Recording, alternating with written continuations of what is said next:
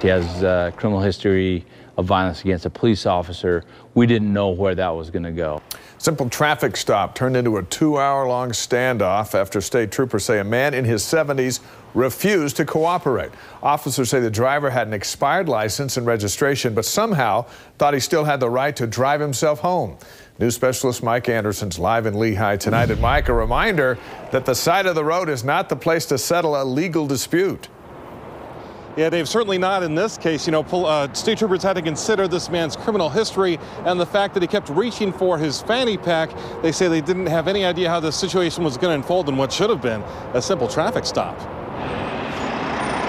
A two hour stalemate on I 15 lasting into the early morning as state troopers say 77 year old Wesley Raymond Carlson refused to get out of his car. The gentleman tried to explain to the trooper that.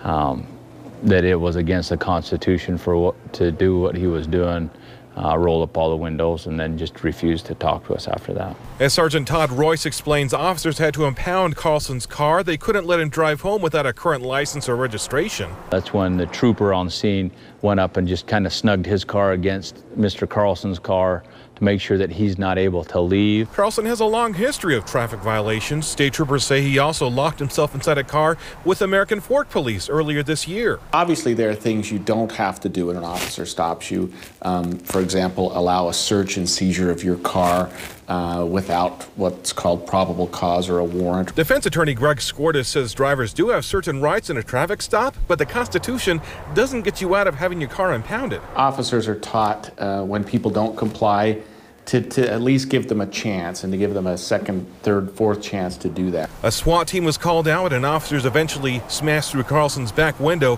tasering him to make an arrest. As Skordas explains, Carlson probably in the wrong here, but even if you think an officer is off base. Arguing with an officer on the side of the street isn't going to be a, a successful argument. It's just not. Save that battle for the courtroom.